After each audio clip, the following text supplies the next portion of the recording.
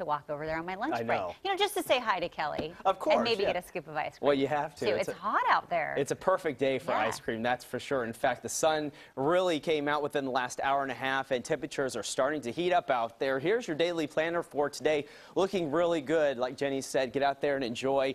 You can get that ice cream. 82 degrees by 3 p.m., but I think we're going to make it to the upper 80s today because that sun really is heating things up out there. By 5 p.m. on your commute home, it is going to be bright.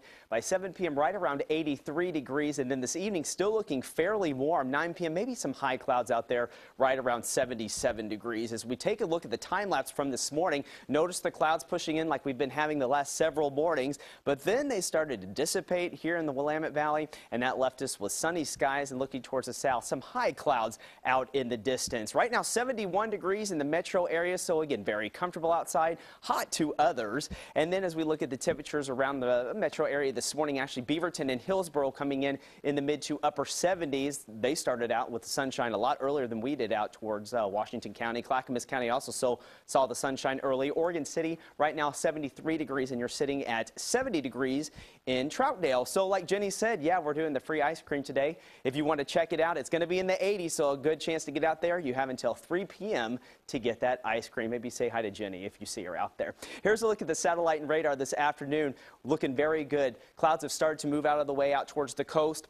And some high uh, clouds also trying to move in to the southern areas or the southern part of the state. I should say you can see them in the distance if you're looking towards the south. That's some of that upper level moisture that we're seeing coming in from the monsoonal moisture down towards the south in California. What's interesting about this system is it's an upper level low, and I'm going to change to the water vapor imagery because this is where it's centered right now, but this basically went across the whole country. It was on in out in the northeastern part of the United States, traveled, it retrograded from the south, and then moved up into California. It basically just wrapped around an area high pressure over the central part of the country. Now, Part of this is going to make it up into our area coming in tomorrow evening. We might get an isolated storm coming in uh, in the south and eastern areas of the Cascades. It's going to be a slight chance of this. The air uh, in the lower levels of the atmosphere are very, very dry. And I'll time this out here and you'll be able to see this. So looking good for today and tonight, maybe some high clouds moving in by 6 p.m. Tomorrow morning, some morning clouds possible. I think our temperatures are going to be a little cooler tomorrow. Still, the sunshine will dominate in the latter part of the day. But there's some of that moisture trying to work its way in by 8 p.m.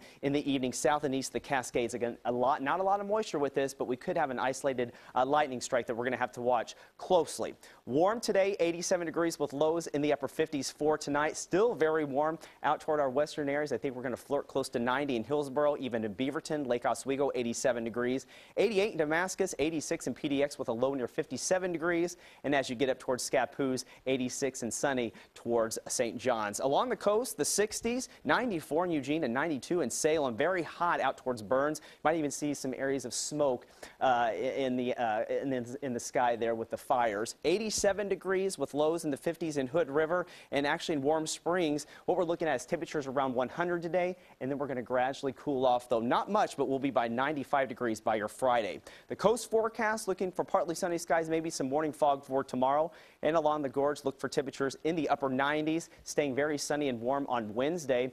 In the Cascades, Highs in the upper 70s today and tomorrow. And then the central forecast, there's that isolated storm chance, like I mentioned, on Wednesday, 92 degrees. So our temperatures start to cool a little bit for tomorrow, 84, then 80 two on Thursday. Notice that cooling trend by next week, even Saturday and Sunday looking at partly cloudy, and some areas could see maybe a little drizzle in the mornings over the weekend. So we'll have to watch that. Maybe mm -hmm. a little moisture trying to come in here. That sounds that sounds nice. I think our uh, hydrangeas could use a little bit of something, I right? Think so, they right. think it's a little too hot out there right now. I, I, I like it.